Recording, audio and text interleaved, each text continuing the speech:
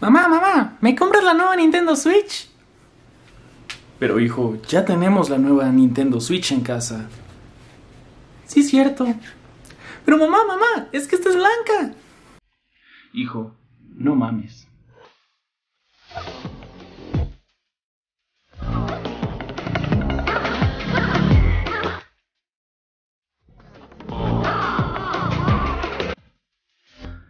De los creadores de...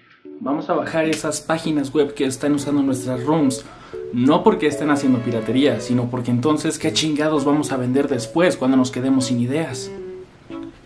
Y de qué chingados planeas hacer para el especial de 30 aniversario de Mario Bros. ¿Vas a desarrollar un nuevo videojuego? ¿Vas a sacar una nueva actualización al universo que tenía? No, qué chingados. Junta tres juegos de generaciones anteriores, pues haz que se pueda jugar en la Nintendo Switch y véndelo, güey. Y di que los estamos vendiendo a precio normal de videojuego, como si nos hubiera costado desarrollarlo, básicamente por el hecho de que ahora están en HD. Digo, Full HD. Oh, mierda, no, no, Full HD no, HD. Que sería básicamente la misma mierda que decir, felicidades, compraste una nueva computadora, ahora puedes jugar Minecraft en 4K.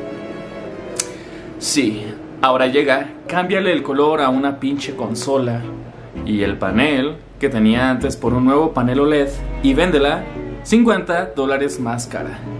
Que si hacemos cuentas a Latinoamérica probablemente termine llegando al doble de caro de lo que costaba, pero bueno, vale verga.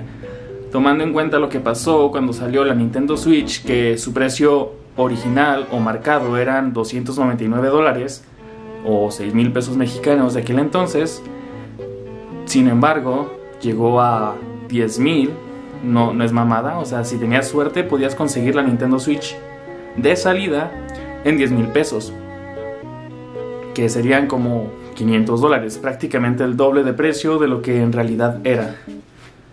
Y bueno, ahora llegó a 349, lo que es de esperar que ahora cueste 14 mil, 12 mil, más o menos. Ya vi varios videos de comentando las nuevas características de la Nintendo Switch y están están de la verga, no sé por qué tienen tanto miedo a decirlo como tal, pero la nueva Nintendo Switch OLED es una cagada. Es un puto abuso y es una jodida burla. Y bueno, a ver. Tampoco es como que wow, llegó la nueva Nintendo Switch Pro. Ahora tendremos más potencia. Ah, espera, no, la potencia no cambió, el hardware es el mismo. Pero seguro tenemos más RAM para poder jugar más cosas y tener más aplicaciones abiertas al mismo tiempo. Ah, no, la RAM también se queda igual. Eh, eh, ahora es blanca. Sí, eso, eso es bueno, porque ya tienes más colores. Es blanca y... Y también está rojo y azul, como antes. Además, pasó de 6.2 a 7 pulgadas. Y, eso es bueno porque ahora se aprovecha mejor el espacio y, los marcos son más pequeños y... Pura cagada. En sí es, es mierda.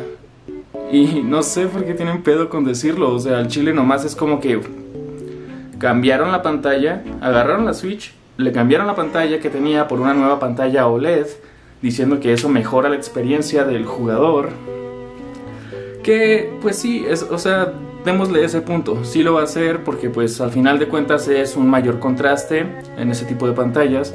Los píxeles son como píxeles únicos, en el sentido de que si está encendido, pues no es de a huevo de que cambie toda la pantalla, sino que únicamente es como de uno u otro. El pedo con eso es que esas pantallas se desgastan demasiado rápido y probablemente cuando, no sé, ya hayan pasado uno o dos años, la barra de vida te aparezca en las partes de arriba que estaban ahí y termine valiendo verga. Entonces vas a tener dos opciones, reemplazar la pantalla a tu nueva Nintendo Switch OLED o comprarte una nueva consola. Me imagino los güeyes de, de, los videos así como tipo, genial, por fin vamos a tener nuestra nueva Nintendo Switch Pro con 5 petabytes de memoria interna y con 4 teras de RAM. Ah, no viejo, de hecho la RAM no cambió, la GPU sigue igual, es, lo mismo. Y bueno, de hecho, la memoria se aumentó, pasamos de 32 a 64. Nintendo, no te esfuerces tanto, la tecnología es del 2021, no mames, probablemente moriremos. Gracias a tus grandes avances tecnológicos. Dios mío.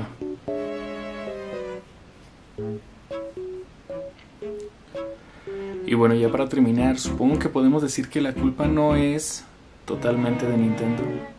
Sí, o sea, escuchaste bien. La culpa de todo este pedo no es completamente de Nintendo.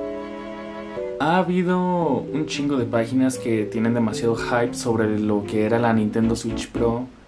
Pero al mismo tiempo es, es una mierda. O sea, no puedes aceptar que te vendan una consola a la cual únicamente le cambiaron el color a un precio, pues como si fuera una puta nueva consola, ¿sabes? Y es que ya no solo te están vendiendo como tal la, la Nintendo Switch, es que toma en cuenta que ya han pasado un chingo de años desde el lanzamiento de la Nintendo Switch como para que te quieran vender una nueva Nintendo Switch con color blanco. Y ese es el gran pedo, porque si yo te pongo la Nintendo Switch y la nueva Nintendo Switch OLED de frente, y suponiendo que las dos son las de los Joy-Con azul y rojo, probablemente no sepas distinguir cuál es cuál. A menos que, claro, tomes medidas, pero en esencia es la misma mierda.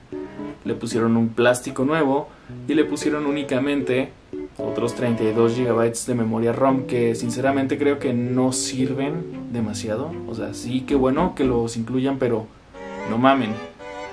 Cualquier puto teléfono que se venda ahora de gama media tiene 128 GB de memoria ROM. ¿Por qué chingados una consola no podría tener eso? ¿Por qué no? O sea... Ah.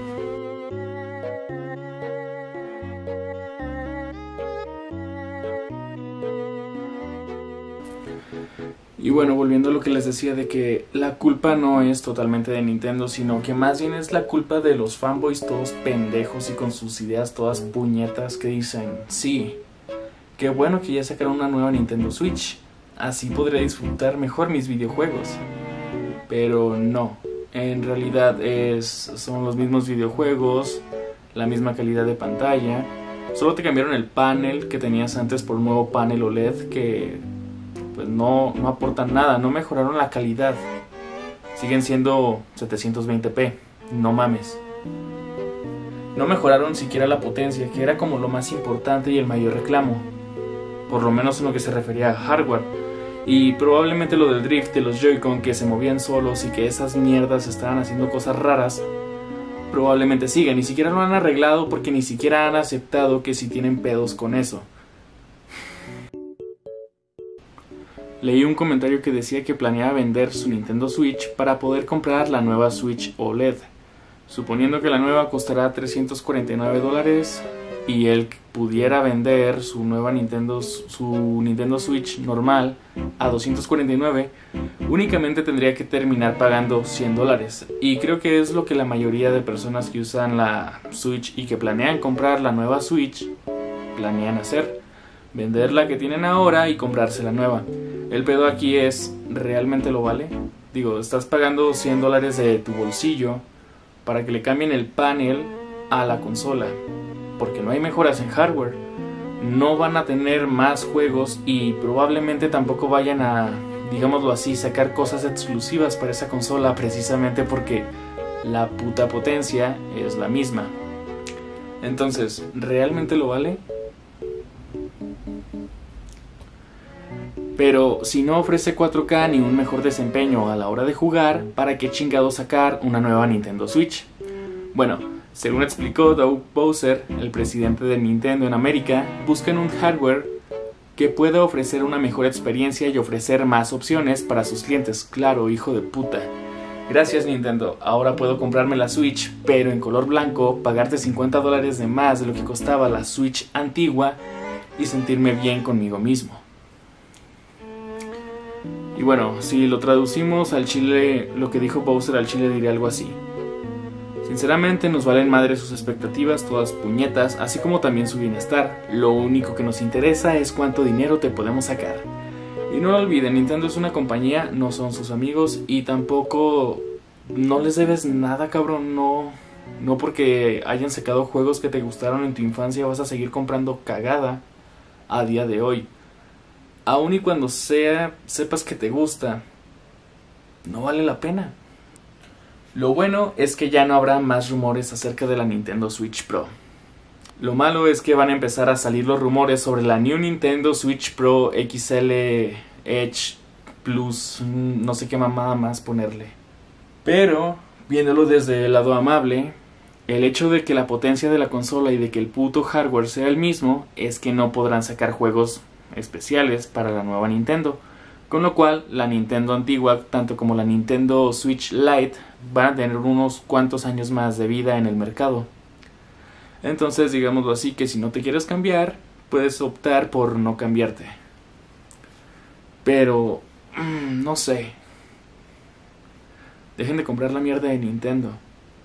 Probablemente vuelva a innovar como lo hacía antes. Porque ya es demasiado tiempo sacando refritos de videojuegos una y otra vez como, para que ahora empiecen a sacar refritos de sus pinches consolas. Piénsalo bien.